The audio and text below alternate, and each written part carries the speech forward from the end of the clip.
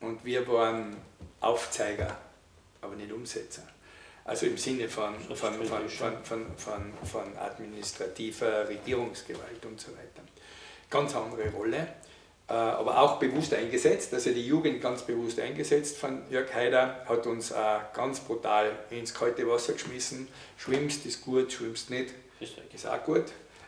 Dann kommt der mhm. Nächste, der schwimmt vielleicht. Ähm, er hat genau gewusst, was er macht. Er hat sich durch unsere damalige politische Unerfahrenheit, hat er uns natürlich in Abhängigkeit versetzt, mhm. was sein politisches Streben und Wissen betrifft, dass wir das auch verfolgen. Er hat ähm, sich den Weg sozusagen freigemacht für seine Denke, von der er vollkommen überzeugt war, und wir natürlich auch, sonst wären wir nicht dort gewesen hat uns eingesetzt als untypische Politiker, vom ja. Alter her, von der Art, wie wir aufgetreten sind, von der Art, woher wir gekommen sind. Von, wir waren ein ziemlich entideologisierter Haufen damals. Also ähm, es ist uns darum gegangen, eben dieser sportliche Wettkampf, diesen, diese Strukturen eben aufzubrechen, als Davids sozusagen es den Goliath zu zeigen. Das war, das war ein ganz spannender Kampf und das war eigentlich eine Strukturrevolution viel mehr als eine ideologische Revolution, als es heute dargestellt wurde. Und das war nicht nur spannend, war interessant und ich glaube, heute im Rückblick gesehen sehe ich erst, dass ich Teil einer Geschichte war, die sehr wichtig war für dieses Land. Und das stimmt mich eigentlich froh. Äh, diese Auseinandersetzung damals war eigentlich der Wegbereiter für das, was jetzt passiert. Es ist einmal schon ein Zwischenintermezzo sozusagen gewesen, das war die Regierung Schüssel. In der Zeit ist schon viel in diese Richtung passiert. Das war schon gegen den Stromschwimmen, das war schon gegen die alten Strukturen. Das hat schon die alte rot-schwarze Aufteilungspolitik durchbrochen gehabt. Ist dann gescheitert, weil man im parapolitischen Bereich einfach nicht vorgesorgt hatte, dass es hier auch Hinterland geben muss, um eine erfolgreiche Politik zu machen. Ähm, aber ich war Teil einer Geschichte, die sich für die Republik als sehr positiv erwiesen hat, aus meiner Perspektive.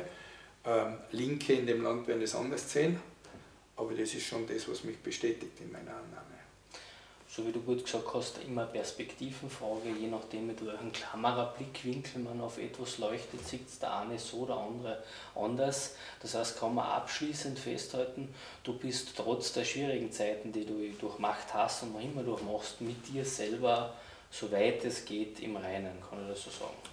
Ich bin persönlich mit mir sehr im Reinen. Mhm. Ähm, was mir meine Zeit heute so schwierig macht, habe ich mir ganz einfach ausschließlich selbst zuzuordnen. Das eine war, ich war wahrscheinlich ein Mitstreit und Mitkämpfer in der falschen politischen Partei, was die mächtigen Systeme äh, dann letztlich ähm, aufgegriffen haben, was ihnen nicht so gefallen hat und wo das Establishment, wenn man so will, zurückschlägt.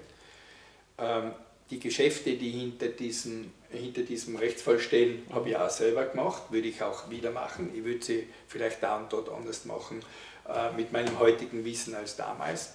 Aber hätte ich das Wissen von damals, würde ich sie wahrscheinlich genauso wieder machen, wie ich sie gemacht habe.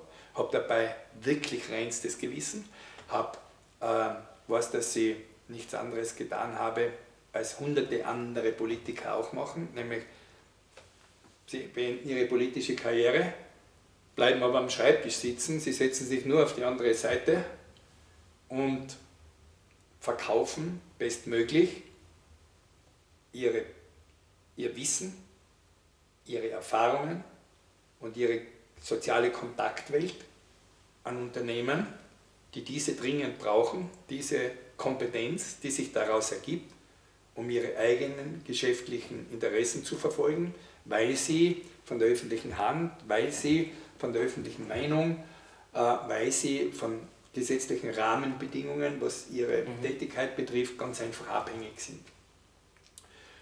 Gerade gestern hat sich wieder der Fall ergeben, dass der ehemalige Finanzminister Schelling als mhm. bei Gazprom als Berater angedockt hat. Ich meine, die Diskussion um die äh, Frau Klawischnik in den letzten Wochen bezüglich äh, ihrer ähm, Tätigkeit jetzt bei der Novomatic ähm, ähm, wir haben wir eh alle im Kopf. Gusenbauer ist ein besonders leuchtendes Beispiel und es gibt hunderte andere auch auf der internationalen Ebene, ob das Schröder ist, ob das Barroso ist oder wer, mhm. egal wie auch immer.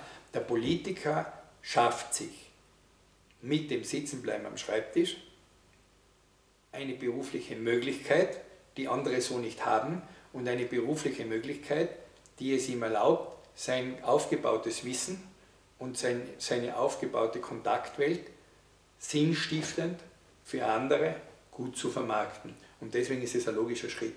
Und diesen bin ich auch gegangen und habe mir nichts Widerrechtliches vorzuwerfen. Ich hoffe, dass der Prozess, der derzeit läuft, es relativ bald auch nach außen bringt und dass es hier nicht um die Räubersgeschichten handelt, die in Mainstream-Medien so abgehandelt wurden und die ganze sage ich mal, öffentliche Meinung vergiftet haben in diese Geschichte, in einer unglaublichen Vorverurteilungswelle. Eine Vorverurteilungswelle, die äh, letztlich, sage ich mal, in der schlimmsten Strafe endet, die du bekommen kannst. Das ist Rufmord. Das ist die komplette Zerstörung deiner wirtschaftlichen Basis und deiner sozialen Basis im Sinne von Reputation. Äh, und mit dem bin ich seit acht Jahren konfrontiert und ich hoffe, dass der Prozess ein Ende herbeiführen wird, das ganz klar feststellt, dass hier nichts Unrechtliches passiert ist. An dem arbeite ich, das ist meine Perspektive derzeit und ja, da bin ich gespannt, wie die Dinge laufen. Schauen wir mal, gehen wir von einem Tag in den anderen und werden uns dann dementsprechend werden wir handeln. Ja, Walter, nochmal danke für die Zeit, für den offene, ehrliche Ort und fürs Darstellen deiner Lebensperspektive, die heute für einen so ist, für einen anderen da. Ich wünsche dir für die Zukunft alles Gute und danke dir nochmal für die Zeit. Danke. Danke auch.